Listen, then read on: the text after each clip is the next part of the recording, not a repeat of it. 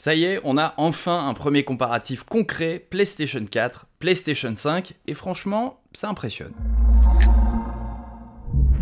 La PlayStation 5 sort le 19 novembre, les Xbox Series X et S sortent une semaine avant, mais ce qui brûle véritablement les lèvres de tout le monde, c'est de savoir comment vont rendre, graphiquement parlant, les jeux adaptés à cette nouvelle génération de consoles. Petite parenthèse, on est toujours en test sur notre Xbox Series X, hein, à jeuxvideo.com, et on vous a préparé toutes sortes de vidéos sur le quick resume, les temps de chargement et la rétrocompatibilité. Je vous invite à aller voir ça, mais aujourd'hui on va se focaliser sur la PS5 et sur le tout premier jeu qui nous livre du gameplay, qui nous permet de faire ce comparatif c'est NBA 2K21.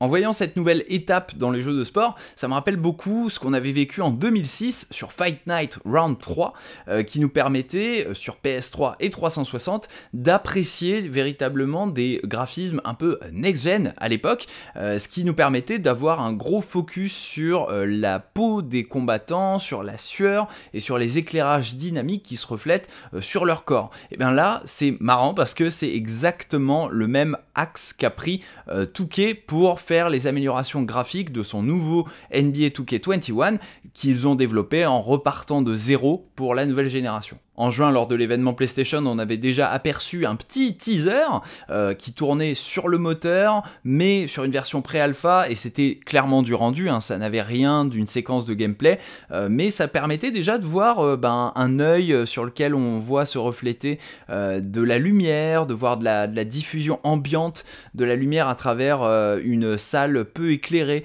ça permettait aussi de voir de la sueur véritablement bluffante en termes de photoréalisme, et c'était super intéressant et super impressionnant, mais c'était pas du gameplay. Aujourd'hui, on est un peu plus de un mois de la sortie des consoles et on a enfin du gameplay, ce qui va nous permettre de jouer un petit peu au jeu des 7 différences avec une vidéo qui va s'appuyer sur un comparatif réalisé euh, par la chaîne YouTube B-Ball Creator 2K et on commence tout de suite. Alors déjà là, on voit d'une que les animations sont plus poussées et plus personnalisées. On voit clairement sur PS4 que le personnage est en stand-by hein, après son shoot. Euh, il attend un nouveau cycle d'animation. En revanche, sur la version PS5, il y a une sorte d'animation de tension qui fait la transition, où le joueur espère que son tir soit une réussite. on est donc en attente de la célébration qui arrive du coup plus naturellement et mieux enchaînée, mieux amenée. Et comme tous les joueurs ont chacun leur petit truc lorsqu'ils attendent que le ballon rentre dans l'arceau, ben ça donne beaucoup plus de liberté aux équipes de NBA pour créer des nouvelles animations qui vont faire cette transition. On continue sur les comparaisons. Là, sur ces deux écrans, on va voir clairement que les deux visages ont beaucoup plus de détails. Euh, on a des améliorations sur la barbe, sur les cheveux, euh, tout est mieux. Et on note aussi bah, que la sueur sur le front reflète euh, dynamiquement les éclairages, au lieu d'être juste là pour être brossé par la lumière sur la version PS4 par exemple. Alors évidemment, ça dépend du soin de modélisation des personnages, et si ces joueurs sont dans le trailer PS5 de la version de NBA 2K21, c'est qu'ils font partie des mieux modélisés. Mais c'est quand même un indice assez intéressant pour voir l'évolution entre leur version PS4 et leur version PS5.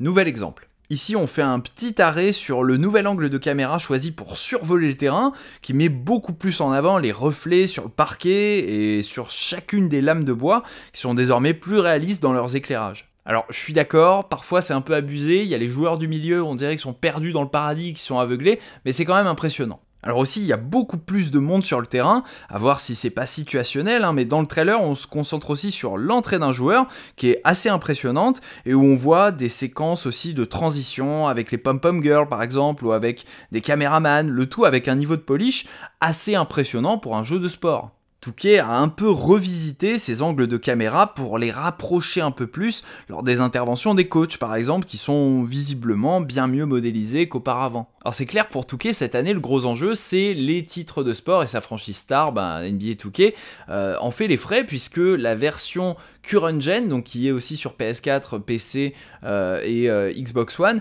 eh bien elle est assez stagne par rapport à la version d'avant. On a fait le test, ça a pris 13 sur 20 alors que la version next gen elle elle a été refaite à partir de zéro, avec des modifications dans le gameplay et des modifications graphiques. Alors c'est une stratégie totalement différente de ce qu'a fait Electronic Arts, hein, qui est le grand concurrent sur les titres de sport, qui quant à lui attend un peu avant de faire son année de transition où la version next-gen sera autre chose que la version current-gen un peu améliorée. Alors je trouve ça assez chouette d'avoir un titre de sport next-gen au lancement des nouvelles machines, mais la facture elle est aussi next-gen puisque le prix conseillé il est de 75 euros. Alors est-ce que c'est une stratégie qui vous parle ou est-ce que vous êtes plus tenté par la méthode Electronic Arts? N'hésitez pas à nous le dire dans les commentaires et comptez sur nous à jeuxvideo.com pour vous reparler de la next-gen très très vite. Ciao